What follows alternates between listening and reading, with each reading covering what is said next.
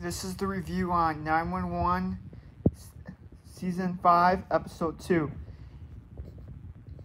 they actually every season they make it more intense than the last one with the big you know with the with the big attacks or whatever. And last season i didn't think they could beat um or the season before that i didn't think they could beat the hurricane thing.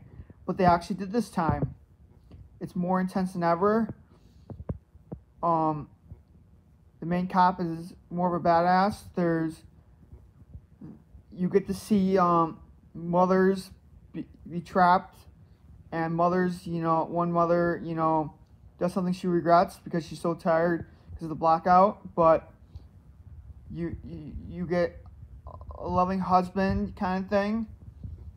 Um, something crazy happens at the end of the episode.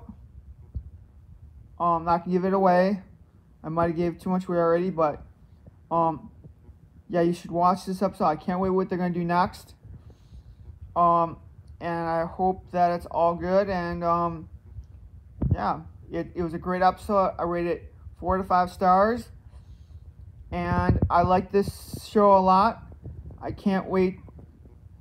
And tonight you're gonna see um Y50, I mean NCIS Hawaii and NCIS, and um, Ordinary Joe. Um, review. Two second episodes review. Um, yeah, I'm gonna keep doing every episode. So, okay, thanks.